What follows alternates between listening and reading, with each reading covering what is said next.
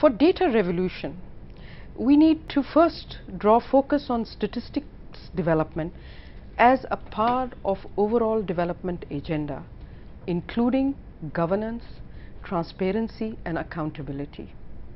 And information societies, statistics is not just for governments, but private sector and the public as well have to benefit and learn how to use it.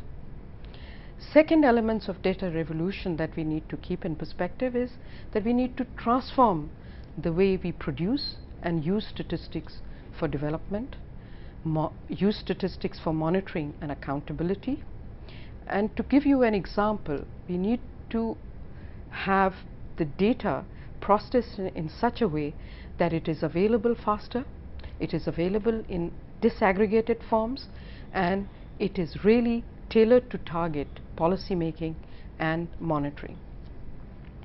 A third element for data revolution to keep in consideration is that we need to revisit the existing processes and procedures of official statistics to increase efficiency of data production and dissemination processes.